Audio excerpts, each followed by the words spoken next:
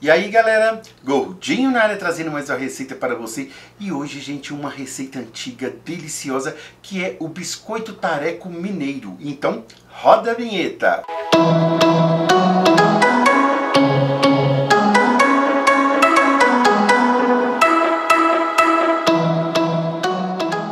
Essa receita nossa, ela tem assim, no Nordeste, que eles usam o coco, leite de coco e outros ingredientes. Aqui em Minas, o tareco, ele tem a sua origem no século XVIII, foi logo quando né, os portugueses né, chegaram aqui no Brasil. Então eles trouxeram a sua gastronomia. E essa pegada do queijo que nós vamos usar no biscoito tareco fica delicioso, gente. E ele lembra bem aquele biscoito quebrador, tipo um sequilho, fácil de fazer, poucos ingredientes e fica uma delícia. Então vamos para os ingredientes da nossa receita. O Gordinho na Área, ele está no Instagram, isso mesmo, arroba Gordinho na Área. Vá lá e seja o nosso seguidor. Para a nossa receita, nós vamos precisar de 2 xícaras e meia de farinha de trigo, 2 xícaras e meia de polvilho doce, 2 xícaras de queijo ralado, 1 xícara e meia de açúcar, 3 ovos, 4 colheres de manteiga, uma pitada de sal e uma colher de sopa de fermento químico para bolo. O Gordinho na área, ele está no Facebook. Vá lá e curta a nossa página. Lembrando a todos que a nossa xícara, ela mede 240 ml. Essa receita é tão antiga, gente, que ela é medida em pratos mas né, para facilitar para você, né, então eu transformei nas medidas em xícara que fica muito mais fácil. Se você não tiver uma xícara de 240 ml, pode ser aquele copo de requeijão que ele mede 240 ml também. Então vamos para a nossa receita. Você já conhece os produtos Gordinho na área? Visite o nosso site gordinhonaria.com. Lá tem toda a linha que é os produtos Gordinho na área para vestir a sua casa. Aguardo todos vocês. Em uma bacia ou um bowl, nós vamos começar com a manteiga. Eu estou usando manteiga, mas se você quiser usar margarina, pode usar também. Né, não vai dar o mesmo sabor da manteiga, mas né, você pode substituir se você não tiver manteiga em casa.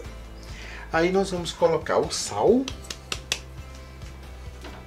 vamos colocar o açúcar.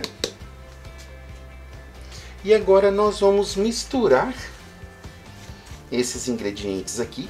Essa receita é diferente, viu gente? Ela é, dá o ponto é com os ovos diferente, né, o sistema dessa receita. Agora nós vamos colocar os secos, a farinha de trigo, o polvilho doce e o queijo ralado. E agora com as mãos, aí nós vamos começar né, a amassar o nosso biscoito. Eu tenho aqui primeiramente três ovos, mas depende muito da farinha, viu gente? E do polvilho também. Esse polvilho que eu estou usando é um polvilho mais granulado. Então pode ser que ele absorva mais. Aqui é que vai virar uma farofinha. E também depende muito do tamanho do ovo, né? Às vezes tem um ovo menor, um ovo maior. É importante misturar aqui bem para que todos os ingredientes fiquem por igual na massa, né? Então é importante você misturar aqui. Já fica uma farofinha úmida. E vamos agora acrescentar os ovos. Vou colocar três. E se precisar, eu vou acrescentar mais. Aqui, pessoal, a consistência dessa massa. Na verdade, eu gastei seis ovos. E agora, nós vamos acrescentar o fermento. E agora nós vamos misturar. Agora nós vamos enrolar os nossos biscoitos. Aqui eu vou só espalhar um pouquinho de farinha. Vou pegar uma porção aleatória, viu gente? Aí nós vamos enrolar, fazer tipo um cordão. Aí a gente vai achatar, tipo umas bolachinhas. E ele vai crescer, viu gente? Então a gente vai cortar mais ou menos de dois em dois dedos.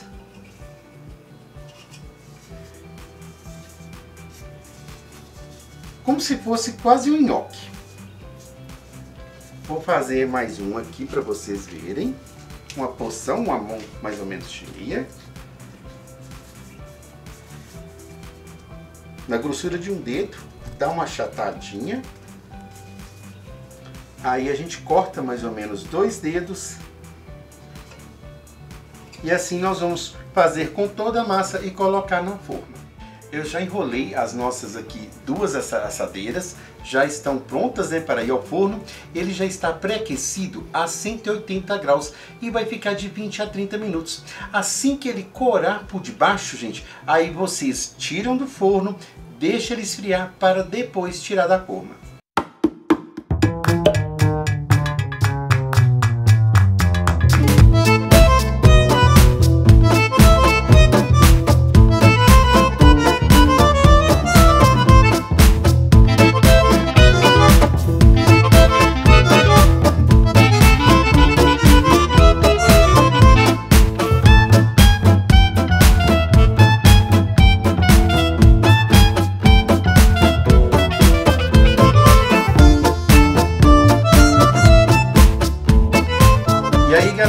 Gordinho na área de volta com você. Olha como ficaram os nossos biscoitos.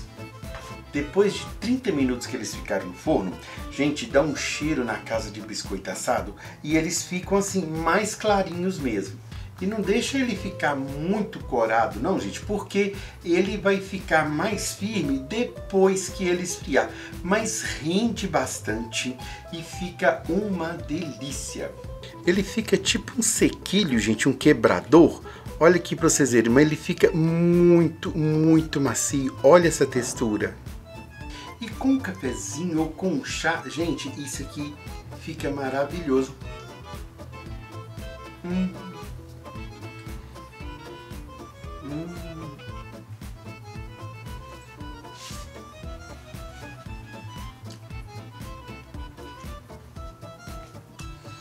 Ele não fica muito doce, sabe gente? Fica bem leve, bem suave.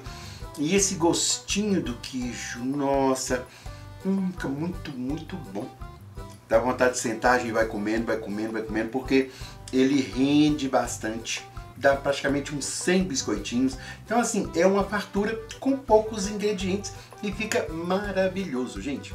Eu espero que você tenha gostado da nossa receita. Você que já é inscrito no nosso canal, muito obrigado. Deixe o seu like pra gente. Você que está chegando agora, seja bem-vindo. Inscreva-se no nosso canal, ative o sininho que você será avisado toda vez que postarmos um vídeo novo. E o like, né, gente? Deixe o like, deixe o joinha, deixe ele azulzinho, que isso é muito importante e ajuda bastante o nosso canal. Essa receita vai estar na descrição do vídeo com todos os ingredientes e com todas as medidas. Nos comentários, deixe o seu comentário, a sua dúvida, o seu elogio, que nós vamos responder com muito carinho. E agora é aquela hora de muita alegria, a hora do abraço do Gordinho. Você que deixa o seu nome, cidade, estado, o Gordinho manda um abraço com muito carinho para você. Gera Umbelina, Londrina, Paraná. Um grande abraço para você e para todo o Paraná. Maria de Lourdes Sartunino. Taguatinga, Distrito Federal. Um grande abraço para você e para toda Brasília, para todo o Distrito Federal. O Pablo Ferraz, Ipatinga, Minas Gerais, conterrâneo nosso. Um grande abraço para você e para toda Minas Gerais. O Gordinho na área vai ficando por aqui. Um forte abraço, fiquem com Deus e tchau, tchau!